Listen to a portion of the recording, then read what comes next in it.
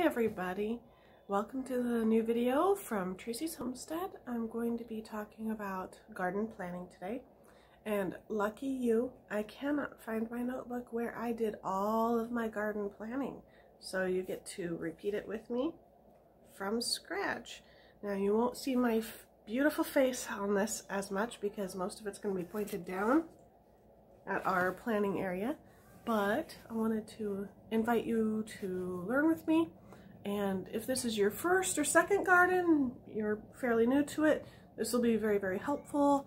If you've already done this before, um, still watch because you might come up with something, you might hear something new that you hadn't thought of before. Um, but we're going to talk about garden planning and how I do my garden planning and uh, I'll try and keep it short, but you know me. I like to tell stories and get a little long-winded, so alright, here we go.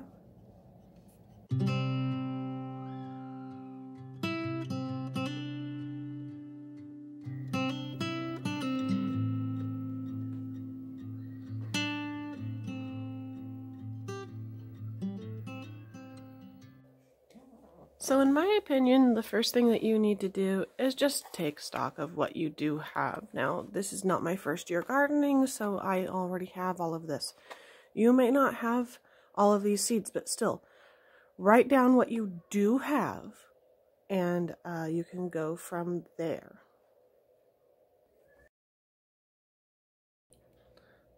Once you have everything listed. I like to do it in groups, so I have all my nightshades, which are tomatoes, tomatillos, eggplant, peppers.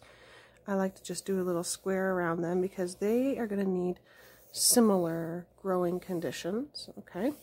My roots, like radishes, onions, beets, carrots. Uh, potatoes are not on this list because I plant them in a different section. I put the little square around this. These are grains.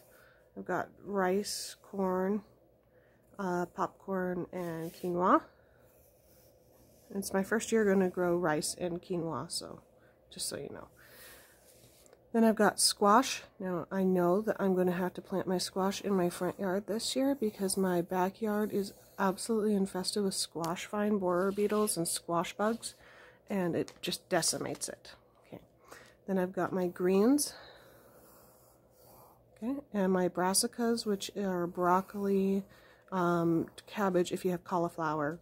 Um, there's a couple Brussels sprouts, but I just have broccoli and cabbage because we don't really eat the other stuff. Climbing and vining things like peas, green beans, watermelon, and cucumbers, and then herbs and flowers. This helps you to see what you're going to need to put where. All right, let's go to the next step.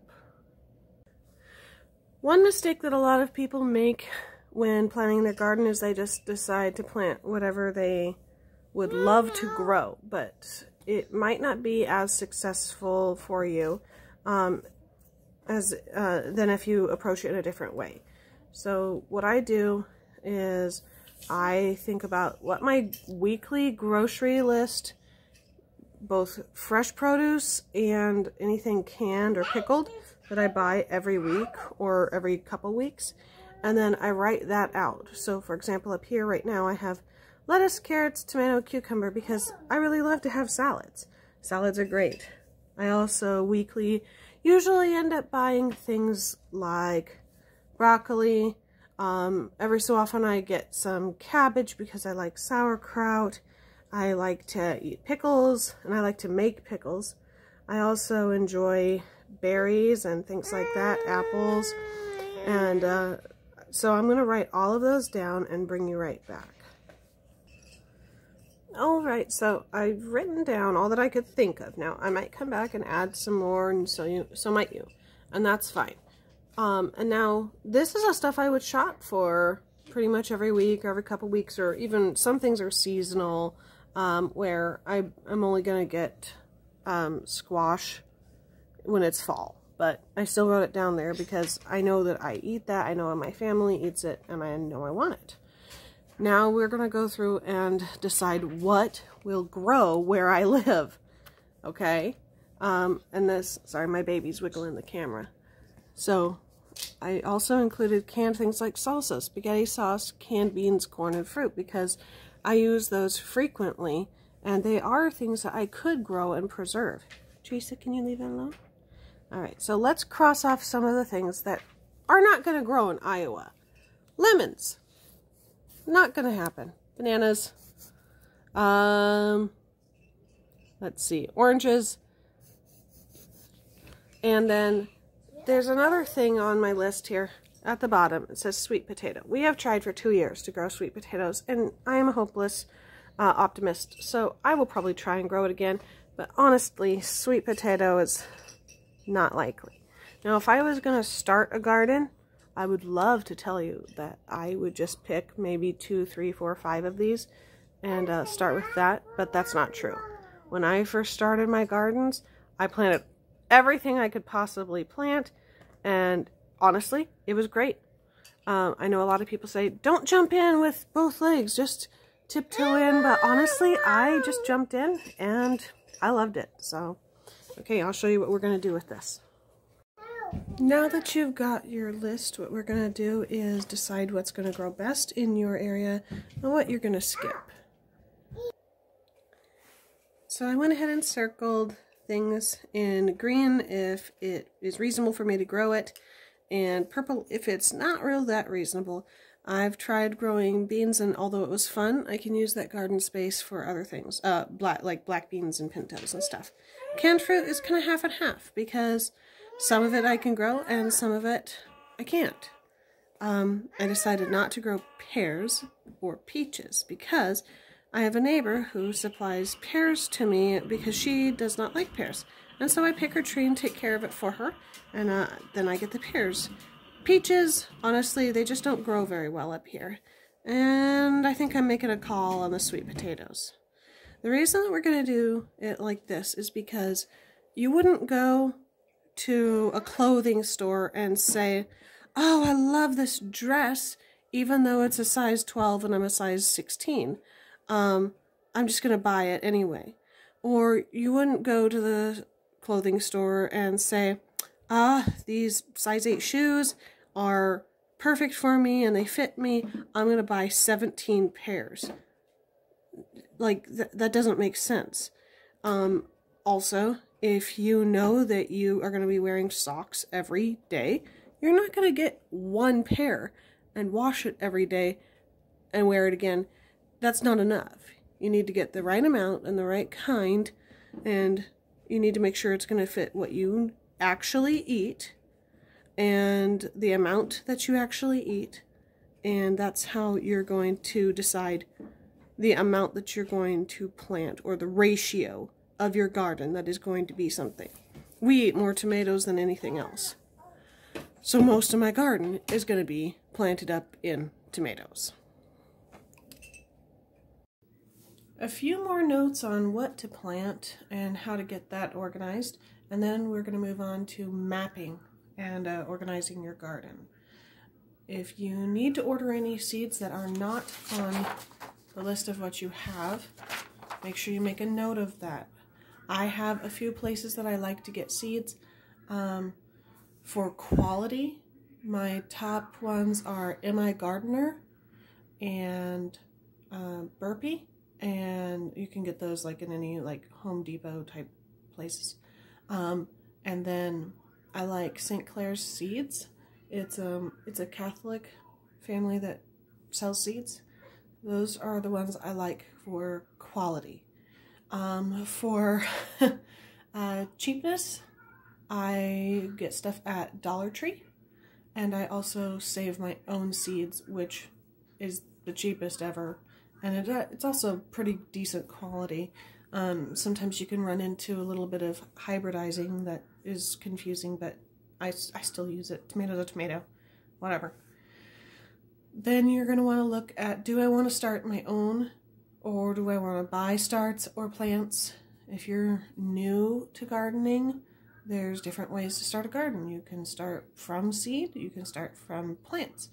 Um, oftentimes buying starts is easier and it gets your feet in the water and helps you to be more comfortable with it.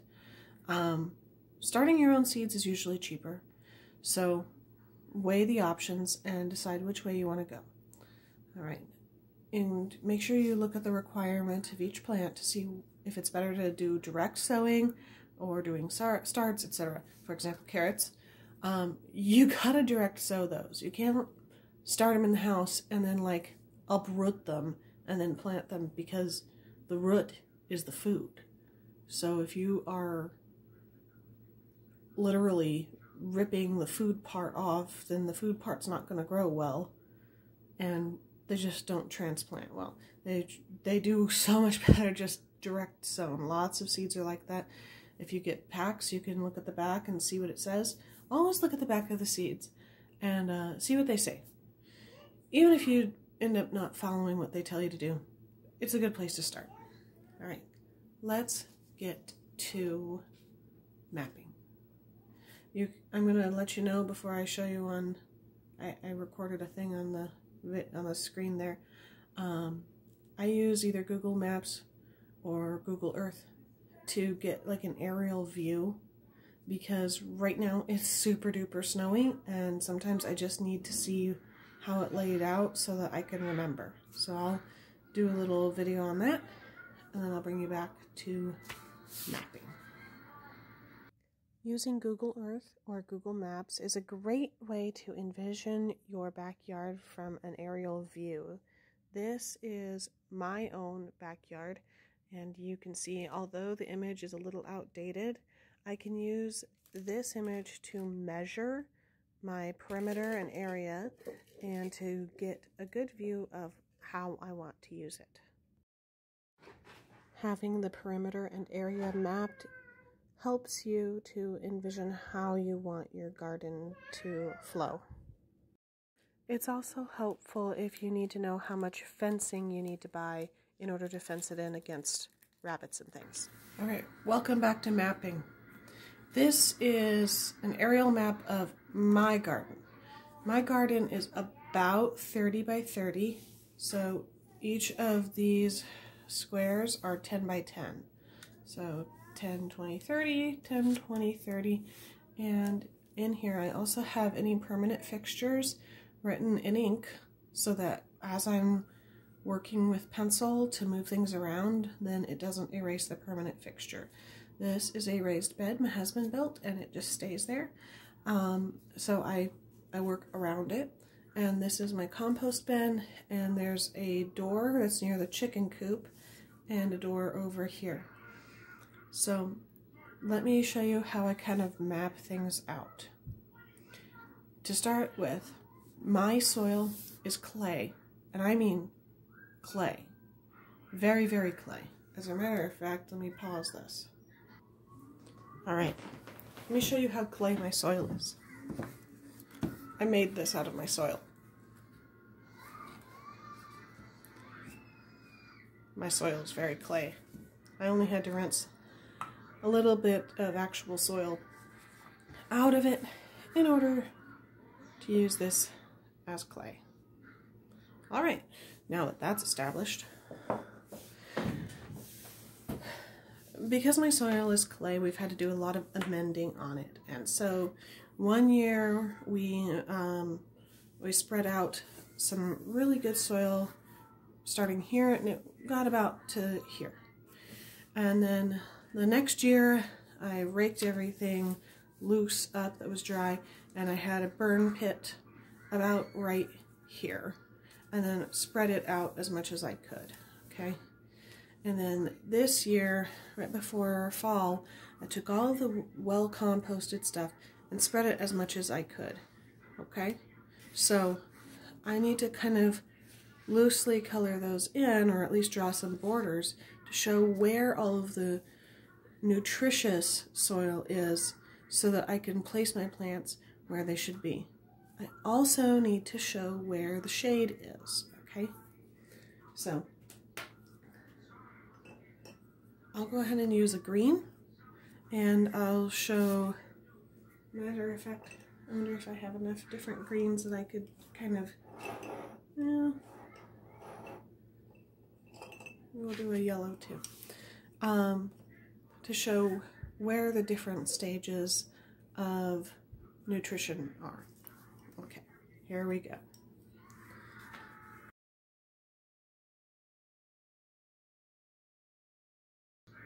All right, so these are my, are my most nutritious soil areas.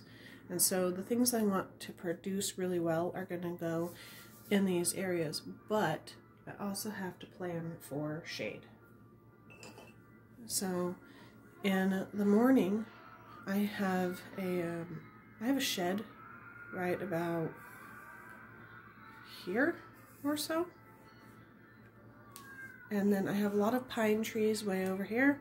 Um, so this whole section gets a, a, decent amount of shade. There's also a mulberry tree that's growing outside my garden there. It's kind of small, but it still does add some shade. My neighbor has a fence here. It's a privacy fence, so it's going to offer a little bit of shade, uh, it, but it's to the north, so I have to keep that in mind. Um, and then my house is about over here. So I have to keep that in mind. So let me mark in where the shade is going to be so that I can use that also. All right, so now you can see where everything is in my garden. I recommend that you do something similar Go and observe your soil if you can, or try to remember it from the previous season. Try to remember where you saw, number one, the most weeds. They love nutrition. And then if you just let them go and they rotted back into the earth, and yeah, you're going to have to deal with weeds, but you're also going to have very rich soil there. If it looks arid and dry, then that's not great soil. So what you're going to want to do is put your favorite crops in the best soil. And so I'm going to try to put most of mine in this area while still kind of adhering to a grid so that it's easy to maneuver around. And yeah. All right, so let's just get into that.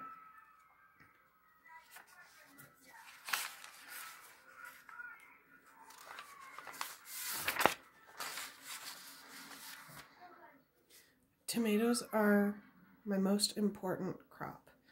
So tomatoes and peppers. And so I'm going to be putting them in the best places that I possibly can. In order to, to decide how many of each thing you're going to plant, what I recommend is this. Um, let me give you a short, a short thing. Okay, let's say I'm going to use um, about two quarts of tomato product every week. Um, so 2 times 52 is 104. 104 quarts of tomato per year. And in order to do that, you have to find out how many um, plant, or how many quarts does each plant produce. And then you have to get that many plants um, I have discovered that because of my soil quality not being super great, each plant produces about a quart. So I'm going to need about 100 quarts, or 100 plants, 100 tomato plants. So I'm going to need 100 of them. And now I do kind of plant mine kind of cramped. Um, but again, because of my soil and my microclimate, it works for me. So, where are we going to do the tomatoes? We're going to go around here in our best soil. I like to lay out where my pathways are going to be first. I have a, a pathway that goes here, and then it goes straight down the middle to this next door. And it needs to be big enough for me to get my wheelbarrow in in and out okay? And then uh, what I've done is the cul-de-sac style rows. So um, basically you you go down in here. Or let's see I think I was gonna fit two and here, I'll just do it like this to show you. Okay. Basically, you can plant something here and all the way around, and then you can plant another thing there and all the way around, and you kind of do it like cul-de-sac. So let me draw this out and I'll bring you back.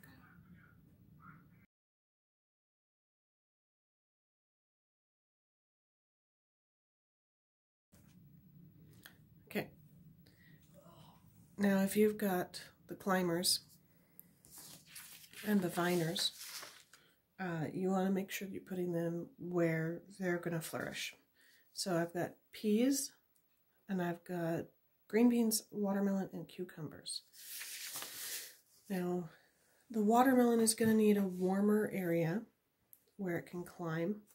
The beans are, they're honestly happy anywhere. Peas are going to want it a little bit cooler. Um, and cucumbers are pretty comfortable anywhere. Um, somewhere in the middle is best for them. So I have a couple um, trellises that I have set up as an A-frame over here. So I can use this area for cool climate uh, climbers. So I'm going to put in a little note here. Um, little A-frames. And this is where I'm going to put my peas. All right. My peas are going to be very happy over here because they are shaded from some of the hot sun and they have trellises that they can climb and um, the soil is not really amended over there but they don't seem to need very deep root systems so they'll be very comfortable over here.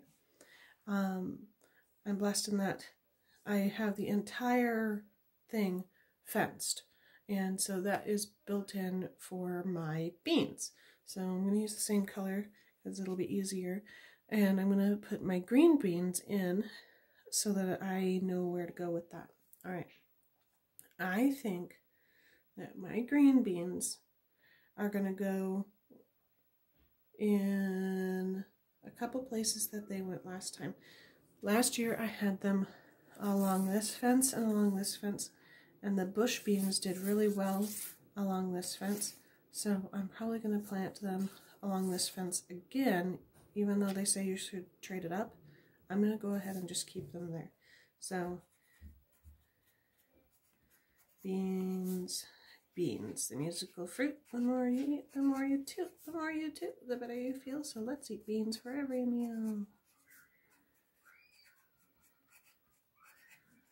They'll use this fence to climb up and they'll be very happy. Any more climbers that we've got? Watermelon and cucumber.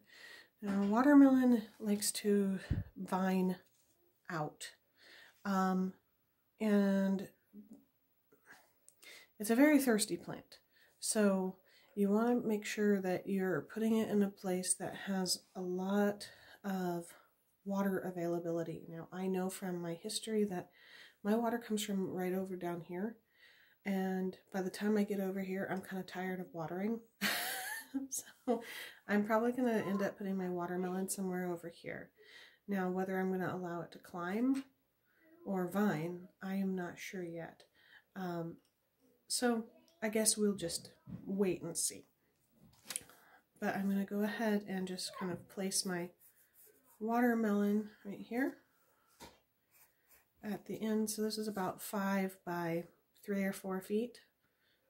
Okay, and that's going to be a pretty happy spot for some little baby watermelons.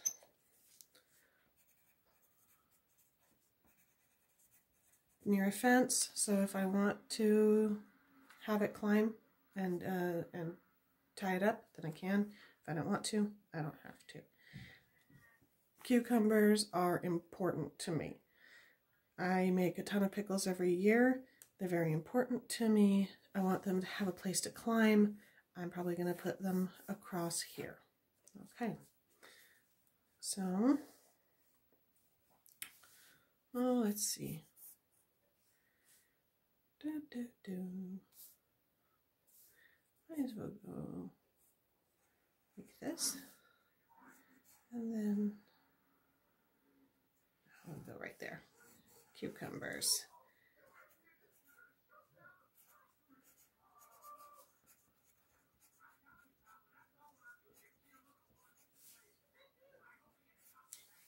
Cucumbers, okay. The next thing that I'm going to be looking at, um, I'm actually going to be looking at my greens because greens are kind that like to bolt um, and they need to have a slightly shadier spot so that they don't just go. Um, and so I'm planning on putting them in this area over here because it gets a little bit more shade, okay? Um, and I'm hoping that that will help them to not bolt so quickly. Now, I could, uh, this is south. I could save a little bit of room and plant my corn in a block over here, um, which would then make it so that my greens were more shaded. So I think that's what I will do. I'm going to leave about half of it for corn and about half of it here for the greens. So even though I've already used green to signify things, I'll just do it a little bit darker and I'll uh, go ahead and get all of my greens settled in here.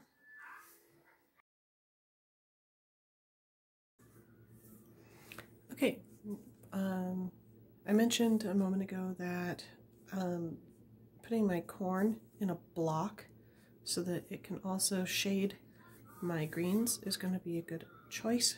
So I'm going to go ahead and work on my grains. Now I do know that I'm planning on planting my quinoa in the front yard instead of the backyard. Um, and rice is probably going to be in the front yard too. So instead, I'm just going to go ahead and plant all of my eating corn, my sweet corn in this area. And I'll probably pick a different spot for the popcorn, just so they're a little less likely to um, cross-pollinate. But, I mean, honestly, it's probably going to happen. It's a small garden. 30 by 30 is small in regards to, like, pollination. So let's go ahead and put corn in here. All right. All of my root vegetables, because the soil is clay, are going to go in this raised bed because the soil is more loose. Uh, currently, I have garlic planted over here, but I've and a few herbs, but I will probably be able to move that uh, because it should ripen and be ready to pick um, by like midsummer. So I may be able to put a few things over there into the garlic area after the garlic has been pulled. But I'm going to put all my roots in here. That means lots of onions. So honestly, I'm going to take up most of this with onions. I am planning on planting probably at least 100 onions. I'm going to have to find my actual little um, notebook for that. All right whole bunch of onions. I have lots of different kinds. And I need to also plant some beets and carrots and radishes. I could put the radishes in with the garlic. Radishes. Um, onions and then beets and carrots. Really, it would be nice to have more space, but we're to go ahead and try. Now, I will use more carrots than beets, so let's write carrots here. And we'll save beets for, we'll write beets down, but I might save it for later and move it around. All right.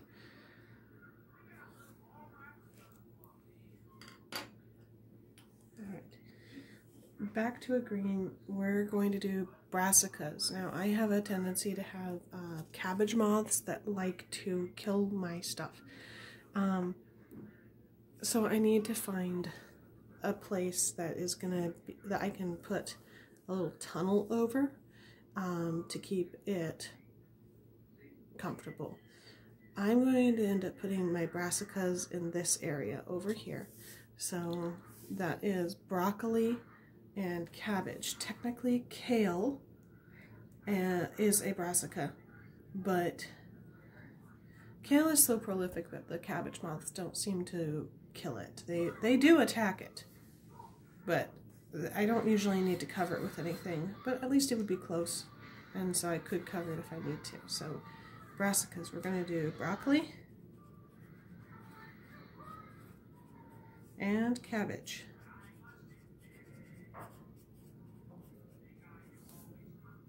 And then it's going to need um, netting over it. Okay. Let's check to see what we've got left. Of course, the, all my nightshades. Squash is going to be in the front. I've got my greens, my brassicas, my climbing of viney. I haven't done herbs yet. I've done my roots and I've done my greens. So I need to figure out my herbs and flowers, um, including the other ones that I want to add in, which are mostly herbs. And then and my nightshades. I'm going to go ahead and do my nightshades first. I've been saving these really healthy areas for them. So let's start mapping them out. All right, tomatoes. I'm going to be, I'm going to have a ton. So let's just, I'll just go ahead and write it in and you'll, you can watch me do it.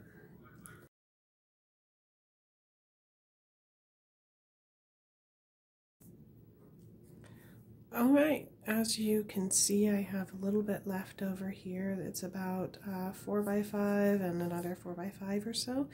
And so I think I'm going to use this. In the past, I probably would have used this for squash, but I can't put squash back here this time. So instead, I'm going to put my herbs over here. And the flowers I just kind of scatter. Wherever they grow, they grow. So let's get another color for herbs. Let's see, got a lot of this. Let's get this. For herbs, um, they do. it does not matter in what order they go. You can plant herbs any way you'd like. Um, I'm going to see if I can get a little bit more compost for it so that they're a little happier. But this, these sections are going to be my herbs.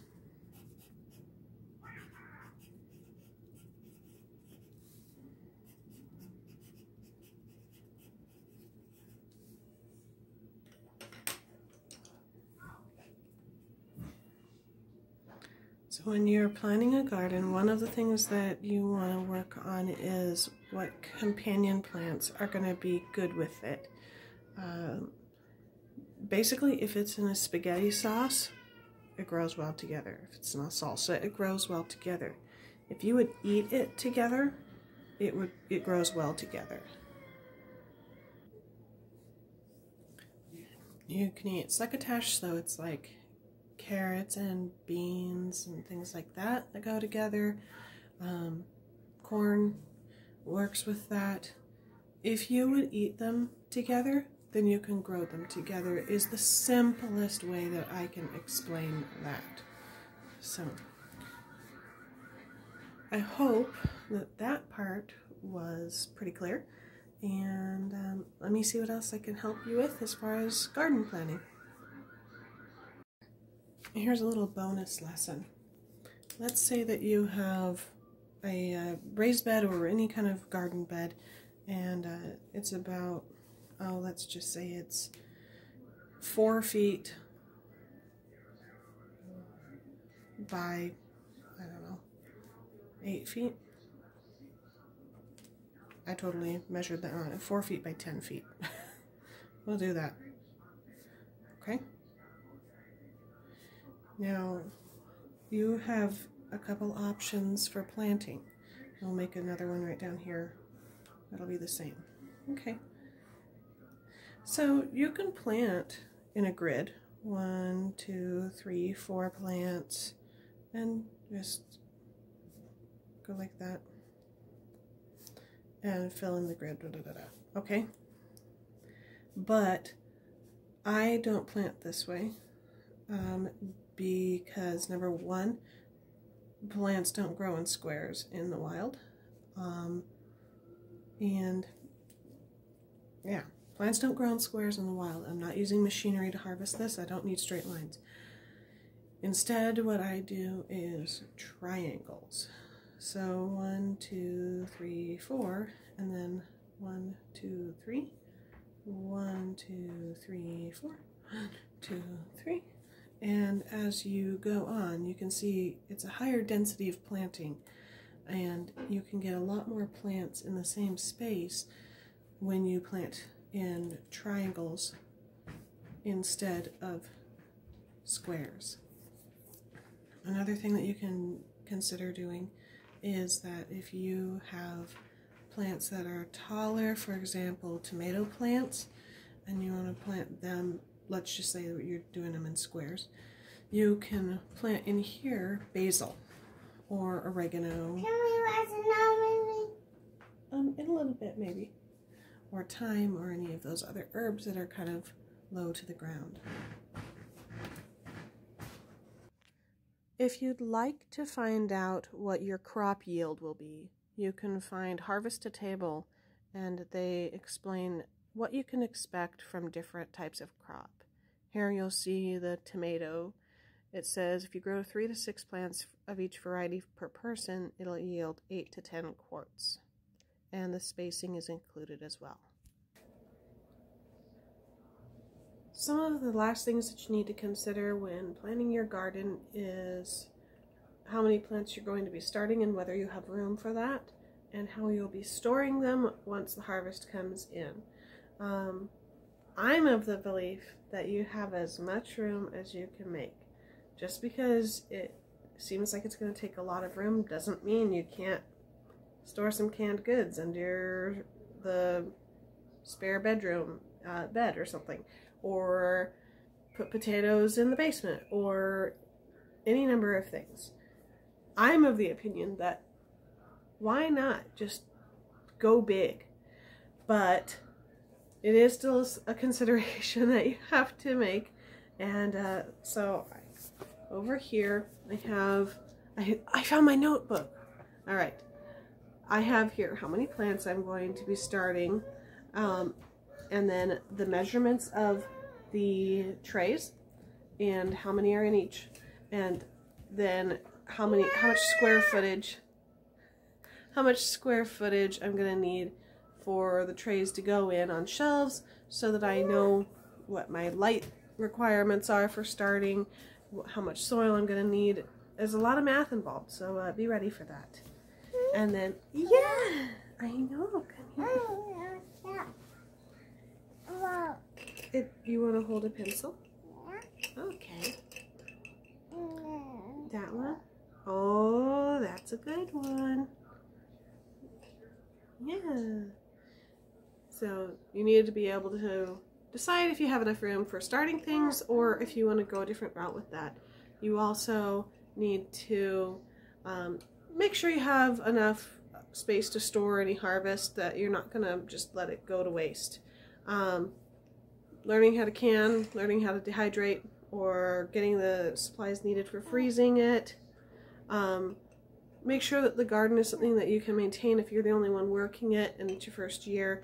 Um, weeds are going to pop up, so you're going to have to either manage the weeds or manage your expectations of your garden, uh, one or the other.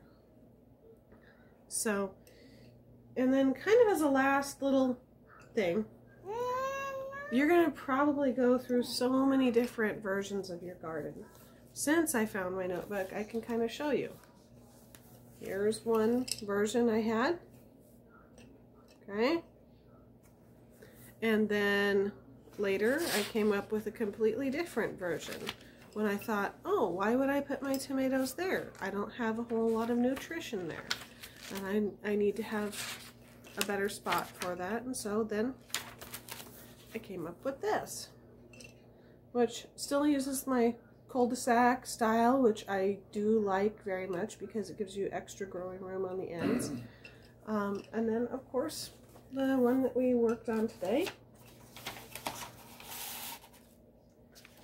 which I also like.